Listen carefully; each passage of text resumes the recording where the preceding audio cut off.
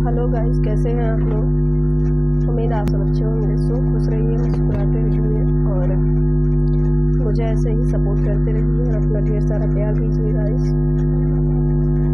तो अभी मैं भी चल रही हूँ। अरे, मैं धक्का मार रही हूँ यार। छोटी बच्ची है तो धक्का मार रही है। तो गाइस प्लीज़ आप लोग ऐसे ही सपोर्ट करते रहिए और अपना ज़्यादा से ज़्यादा प्यार दीजिए तो मैं आज कैसी लग रही हूँ इस साड़ी में, आप लोग ज़रूर बताना। वैसे आप लोग इतनी देरी तारीफ़ वैसे ही कर देते हैं, मैं खुश हो जाती हूँ। आप लोग बोलते हैं, कुछ भी पहन लो यार, आपके ऊपर सब कुछ अच्छा लगता है।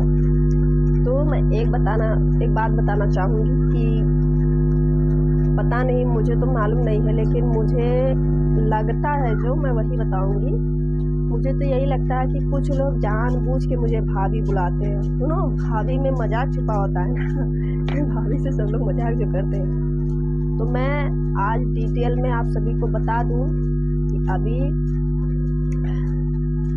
बीस इक्कीस साल मेरी उम्र है और अभी मेरी उतनी उम्र नहीं है कि मैं शादी कर लूँ। मैं जीवन में लाइफ में कुछ करना चाहती हूँ।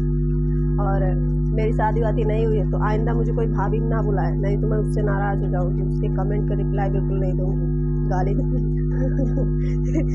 तो जो ऐसा हो ही नहीं सकता कि मैं यू नो जो शादी जिसकी हुई रहेगी, वो सिंदूर लगाता है, मंगलसूत्र पहनता है, और कहीं ना कहीं वीडियो में उसके हस्बैंड भी दिखते हैं, मेरे दिखते हैं, नहीं दिखते हैं।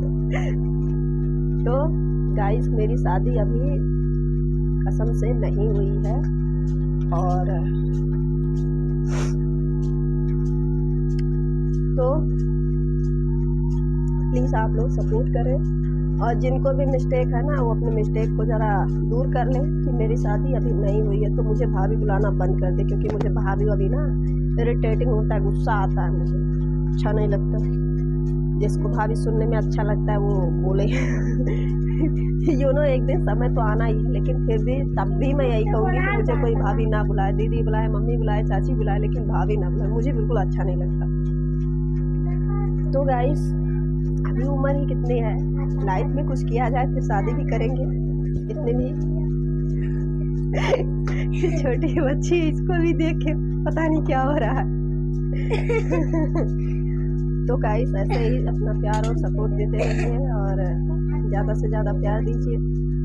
देन मैंने जो कहा मज़ाक में कहा प्लीज़ आप लोग जानते हैं कि मेरी शादी नहीं है तो प्लीज़ भाभी मत बुलाना। जो बुलाते हैं उनके लिए बोल रहे हैं, खास लिए